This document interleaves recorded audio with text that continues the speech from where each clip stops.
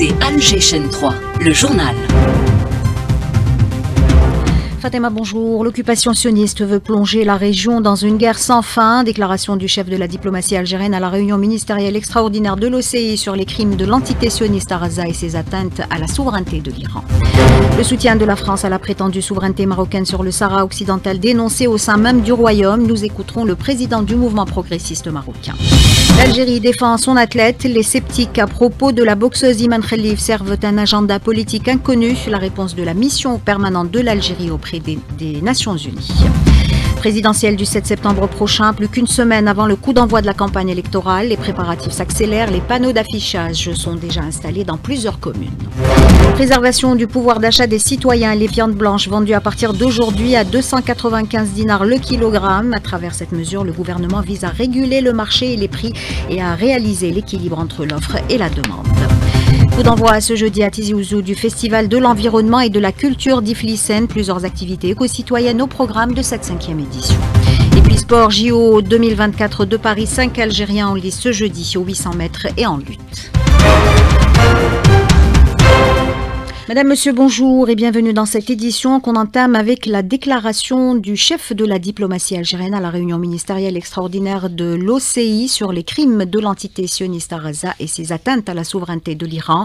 Ahmed Attaf a affirmé que l'occupation sioniste veut, à travers ses pratiques odieuses et honteuses envers les pays voisins, plonger la région dans un cycle de crise, de conflits et de guerres sans fin. Ahmed Attaf a affirmé que les droits des peuples et leurs causes nationales ne peuvent être anéantis à travers la disparition de leurs porte-voix et leurs défenseurs. On l'écoute. L'Algérie condamne fermement l'agression terroriste dont a fait l'objet l'Iran et qui a mené au décès du chef du bureau politique de Hamas, le martyr Ismail Hani. Les droits des peuples et leurs causes nationales ne peuvent être annihilés à travers l'anéantissement de leurs porte-voix et leurs défenseurs, de même qu'ils ne peuvent être enterrés avec les martyrs tombés en leur nom. Ce sont des droits indéfectibles qui ne se perdent pas et des causes qui ne s'oublient pas, tant qu'il y a un peuple qui croit en leur légitimité et leur justesse.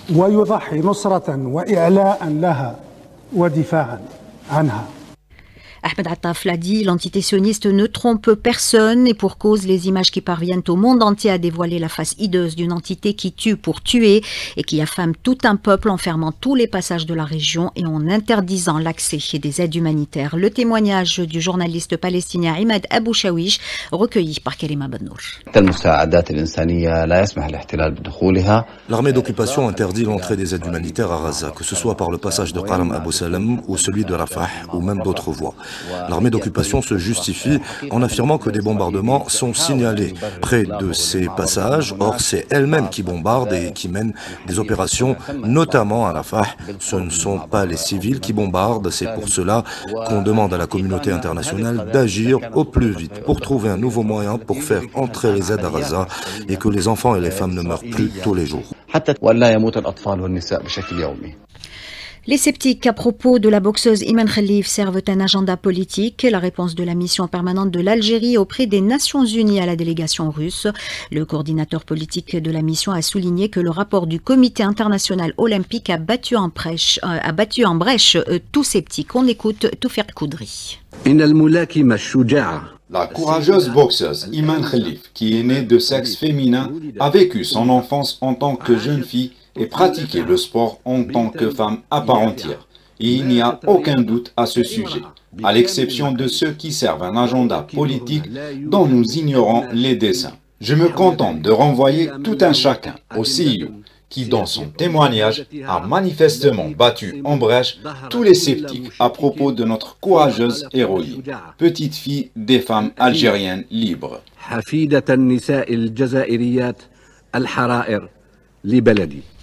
Toufiq Koudri s'exprimait lors du briefing du Conseil de sécurité sur le thème Pérenniser le respect des engagements relatifs aux femmes, à la paix et à la sécurité dans le contexte de l'accélération du retrait et des missions de paix.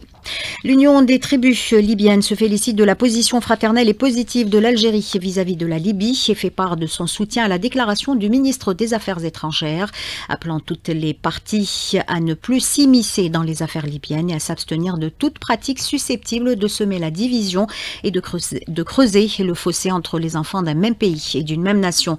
Je vous propose d'écouter le conseiller de l'Union des tribus libyennes, Khaled Larouil. Euh, il répond à nos collègues de l'ARAI. L'Union des tribus a suivi les déclarations du ministre des Affaires étrangères Ahmed Attaf lors de sa rencontre à Alger avec Stéphanie Khouri, l'envoyé spécial par intérim. Ces déclarations sont dans l'intérêt du peuple libyen et l'Union des tribus les a saluées dans un communiqué compte tenu du rôle central de l'Algérie qui n'a aucun intérêt à part la stabilité de la Libye.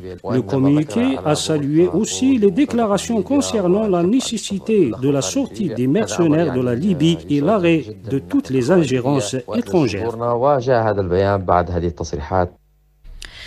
Le soutien de la France à la prétendue souveraineté marocaine sur le Sahara occidental continue de susciter des réactions et pourtant le droit du peuple sahraoui à l'autodétermination est reconnu par les instances juridiques internationales et les instances onusiennes. Au sein même du royaume, des voix s'élèvent pour dénoncer l'occupation du Sahara occidental par le Maroc. Le cas du mouvement progressiste marocain, son président Driss Mrani en parle à Marim Abdou. Notre mouvement s'oppose fermement à toute forme d'impérialisme et soutient les justes causes des peuples opprimés, y compris le droit du peuple sahraoui à l'autodétermination. Nous avons condamné la récente position de la France concernant le Sahara occidental, car elle constitue un soutien injustifié à l'occupation marocaine de ce territoire. Cette position montre un alignement avec les intérêts impérialistes plutôt qu'avec les principes de justice et de droit international. La France, en soutenant le plan d'autonomie marocaine ignore les résolutions de l'ONU et les aspirations légitimes du peuple sahraoui. Retour chez nous, en visite à Oran, le général d'armée, chef d'état-major de l'ANP, exprime sa haute considération pour les efforts consentis par les personnels des unités de la deuxième région militaire en général et ceux des unités des forces navales en particulier, dans le cadre de l'accomplissement des nobles missions dont ils sont investis. Saïd Chengriha a également relevé le niveau de disponibilité opérationnelle atteint par les personnels ainsi que leur parfaite maîtrise des équipements et moyens de haute technologie mis à leur disposition, reflétant ainsi les résultats positifs obtenus avant de donner des instructions et des orientations portant particulièrement sur la nécessité de redoubler d'efforts au service de l'ANP. Le contrôle parlementaire sur l'action du gouvernement, un outil juridique qui consacre la transparence budgétaire et contribue par là même à la promotion de la gouvernance des finances publiques. L'avant-projet de loi y afférent a été examiné par l'exécutif lors de sa réunion hebdomadaire présidée par le Premier ministre Nadir Al-Arbaoui. Le recensement général de l'agriculture 2024 également sur la table du gouvernement qui a passé en revue les moyens d'assurer une exploitation optimale des données statistiques recueillies pour, pour élaborer des politiques publiques à même de réaliser la sécurité alimentaire et contribuer à la diversification de l'économie nationale. Et enfin, le gouvernement a suivi une communication sur le taux d'avancement des travaux de réhabilitation de Oued el-Harraj, lesquels travaux, une fois finalisés, contribueront à la réhabilitation environnementale et urbaine de la ville d'Alger et à la création d'espaces de divertissement et euh, de loisirs. À noter également que le Premier ministre a installé hier la commission multisectorielle chargée de l'élaboration de la stratégie nationale de la propriété intellectuelle pour encourager et soutenir l'innovation dans les politiques publiques nationales en vue de promouvoir l'économie de la connaissance. Présidentielle anticipée du 7 septembre prochain, les électeurs ne pouvant pas voter en personne le jour du scrutin ont jusqu'au 3 septembre pour établir des procurations, indique euh, l'ANI dans un communiqué. Et puis nous sommes à J-7 du coup d'envoi de la campagne électorale. Les candidats peaufinent leur stratégie avant de se lancer dans la course à la magistrature suprême. Le paquet est mis sur le discours électoral pour convaincre un maximum d'électeurs ainsi que sur les affiches qui permettront aux candidats de transmettre leur message. Les panneaux ont déjà été installés dans plusieurs communes. Sophia Boukelcha. Al-Moradia, tout est fin prêt. Le remplacement est choisi pour atteindre un large public. Asma Randi, présidente du service des élections à la commune de Moradia. Les panneaux publicitaires ont été installés dimanche et numérotés de 1 à 3 de gauche à droite. La commune d'El Moradia compte 20 emplacements choisis en fonction de la population qui est de 22 830 habitants. Les emplacements sont sélectionnés selon les rues principales connaissant une forte affluence, notamment près des services publics comme les marchés, afin que les citoyens puissent facilement voir ces panneaux.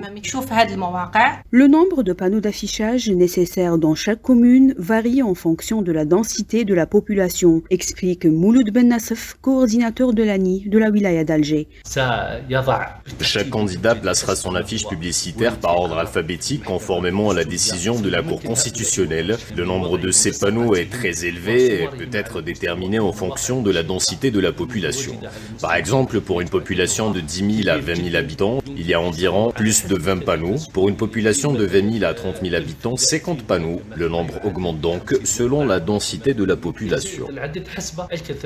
La course à la présidentielle est officiellement lancée et chaque détail compte dans cette compétition et la Radio nationale, à travers ses stations locales, est également un outil d'information par excellence. Elle contribue à sa manière au développement local, selon son directeur général Mohamed Barali, qu'on écoute.